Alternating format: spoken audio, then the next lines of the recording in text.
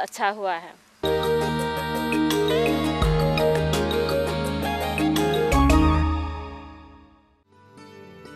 इस तरह से हम देखते हैं कि पारंपरिक विधि से खेती करने पर 8 क्विंटल प्रति एकड़ की उपज प्राप्त होती है, जबकि स्ट्रिप विधि द्वारा गेहूँ की खेती करने से 18 से 20 क्विंटल उपज मिलती है। इस तरह 10 से 12 क्विंटल की अतिरिक्त उपज प्राप्त होती है, जिससे कुल आमदनी में बारह हज़ार रूपए की बढ़ोतरी होती है।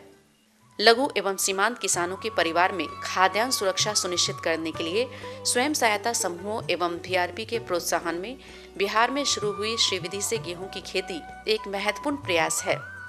आइए कदम बढ़ाएँ श्री विधि अपनाएँ, अपने जीवन को खुशहाल बनाएँ।